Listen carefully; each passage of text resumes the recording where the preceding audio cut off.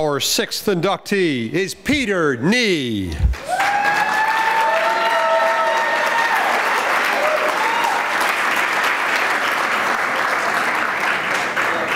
Peter played on Villa Julie's first two men's lacrosse teams in 1995 and 1996.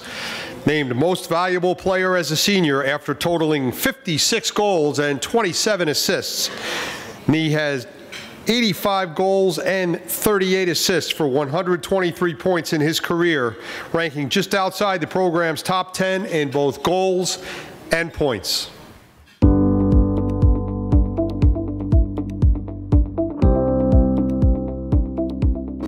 certainly in terms of excellence, he pushed himself every day uh, on the practice field, on the game field. He demanded it of himself. He demanded excellence of his teammates. He expected excellence of the coaching staff and others around him. And in total, he pushed the program to a level that had he not been there, um, it, it, would not have reached. And Pete was certainly a, a, a pillar in that regard, in that he was constantly mentoring the younger guys. He was taking them off to the side and saying, yeah, coach might be getting on you and you might be a little uh, upset about it, but here's why, or here's what you need to do, or, you know, don't take it personally. It's, it's to make us all better, that kind of thing. First and foremost, certainly his name is, is in the Villa Julie slash Stevenson lacrosse record books. Um, as I said, he was our leading scorer. He was our go-to guy for a number of years. He probably held the single season scoring record uh, at the institution.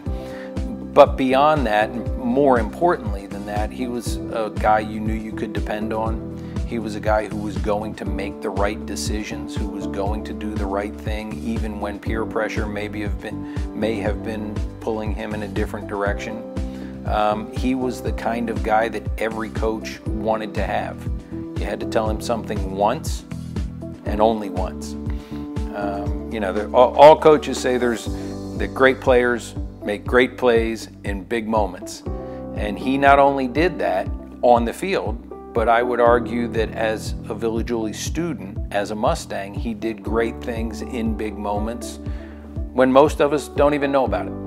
You know, I'm sure that he could tell us many stories, and he may not recognize it, of times when he led through example, whether it was in the classroom or in a social environment or in, a, in the workplace or what have you. He's just one of those people, one of those individuals that people will follow and, and who has a magnetism about him.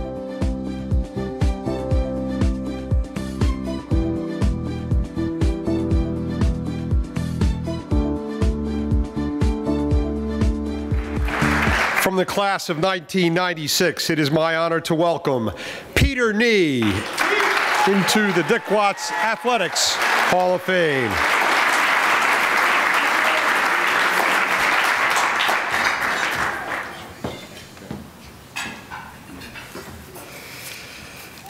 Thank you very much for having me here tonight. I want to, first of all, uh, congratulate the rest of the inductees. Clearly, they are well deserving.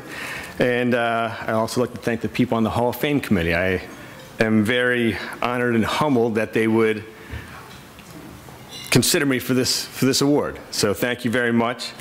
Um, as Tracy's mentioned, she was here at the same time I was, so we went through many of the same struggles, getting funding, getting uniforms, getting equipment, uh, being able to field a team.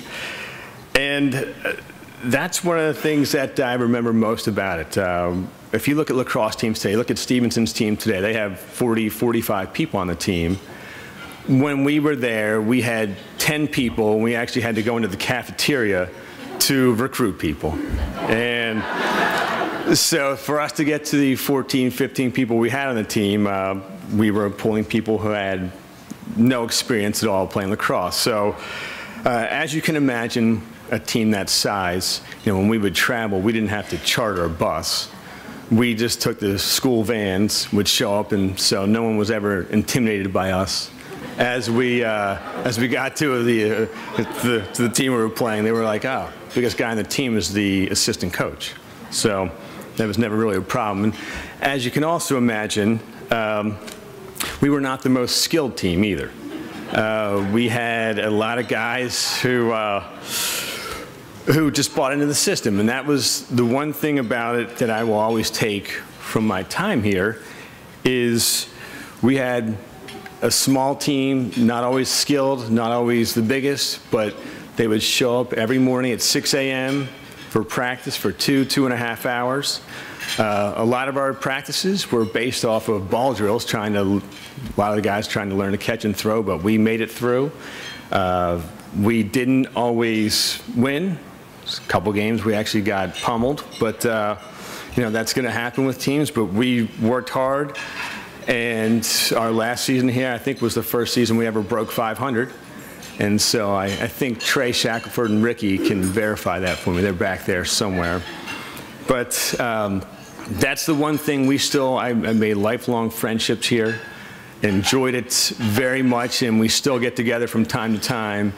And it is, uh, it's very funny to hear the stories from way back when, how, uh, I don't know, things have gotten better all of a sudden, but uh, we know back then, I mean, Chip Rouse can, can vouch for us all when, you know, they, she knew that her desk was sometimes going to be used as a, someone's going to be resting or uh, icing their foot on her desk or, or uh, getting some kind of medical treatment from Kit. But um, I just want to again say thank you very much. I have uh, I enjoyed my time here so much and cherished it more than you could possibly imagine. And I, before I am finished, I want to thank many of my friends from high school and college who are here. Very surprised, and I'm thrilled that you guys were able to share this with me. I appreciate it very much. Um, my siblings, uh, my twin sister Patty, my brothers Tommy and Brian are here. Uh, if Tommy, my brother, has to leave at any moment now, it's because his wife is seven days uh, past her birth date for their first child. So if he ever has to, if he has to see a grown-up walking out, it's probably Tommy. And um, of course, I have to say thank you very much to my mom and dad, who supported me with everything, supported all of us with everything, have been there for all of our ups and downs. Um, don't miss a thing with their grandkids. They say yes to everything whenever we need help with anything. I could never, I probably don't say thank you enough, but thank you very much, Mom and Dad. We all love you very much.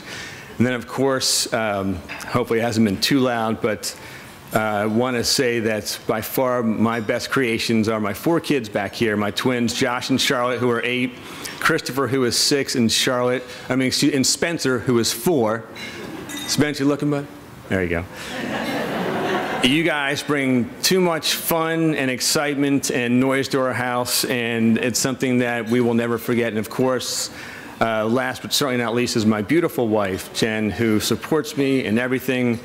When there's total chaos and all everything is breaking down the house, she is somehow able to put a ribbon on it, tie it together, and smile, and make sure we flow smoothly. And believe me, that's a big deal for all of us. So, again, I want to say thank you very much to everyone here, and congratulations. Thank you.